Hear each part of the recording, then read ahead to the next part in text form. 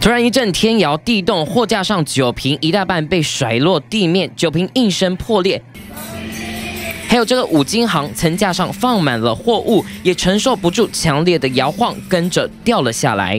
卖场里的客人眼看地震发生，所有人赶紧跑向出口避难。很晃，吓一跳啊！蛮大的，而且持续蛮久的。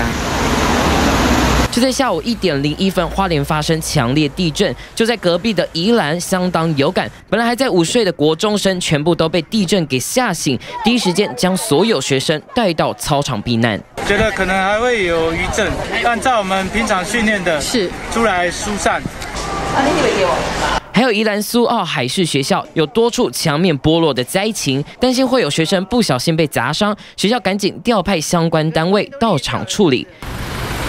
市区也有不少灾情传出，一处诊所楼上大片玻璃承受不住强震，整片玻璃碎裂掉落到一楼诊所外。还有住家传出瓦斯外泄，吓坏了附近的居民，疑似是管线断裂，幸好及时抢修好，才没酿成意外。本来在混凝厂的大筒子，因为承受不了强震的摇晃，同样是应声倒下，占据了底下的整条马路。所幸当时并没有车辆出入。一个强震来袭，也让宜兰多处传出灾情，所幸没有传出有人受伤的消息。而未来一周可能还会有余震的发生，民众一定要做好地震的防护措施。记者洪聪祥在宜兰的采访报道。